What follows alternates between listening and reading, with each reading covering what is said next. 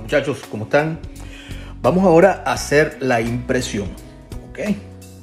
Un poquitico por encima, aunque les hablé que el software había que configurarlo bien para que tuvieran una impresión bien. Yo igual voy a, a indicarle algunas cositas del software y después le hago todo el paseo completo de cómo tienen que hacerlo. ¿Ok? Pero ahora vamos a ir a la impresión.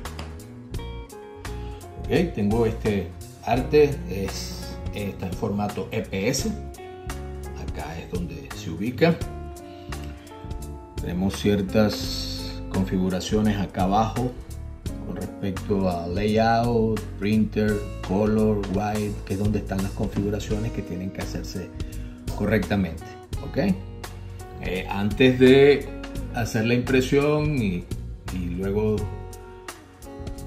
de haber hecho todo lo que hicimos anteriormente con nuestra impresora, entonces se le da un, una limpieza de cabezal y un chequeo de las toberas a ver si, si todas están dando la tinta correctamente.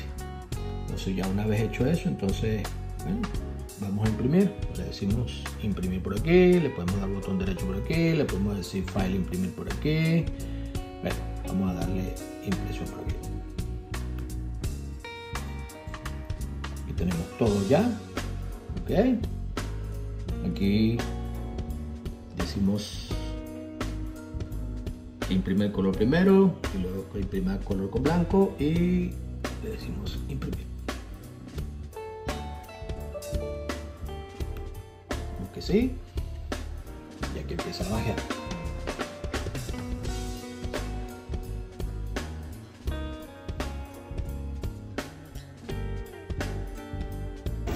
Ahí ustedes lo tienen. Entonces, primero la impresora imprime con las tintas de color y luego encima imprime con el color blanco, que es lo que necesitamos de fondo para que se vean los colores cuando lo colocamos en fondo oscuro.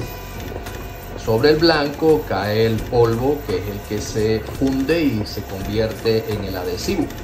Ese es el paso siguiente que vamos a hacer.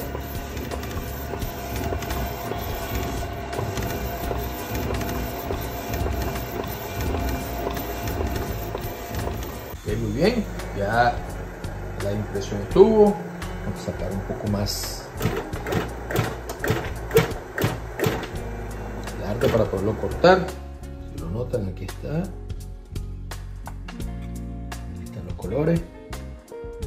De un lado, del otro lado la tinta blanca. Como esta es tinta negra, la tinta negra no necesita del blanco, entonces sencillamente desprecia el blanco sobre cuando está un, color muy oscuro, porque ya no, ya el color oscuro se va a unir con el fondo.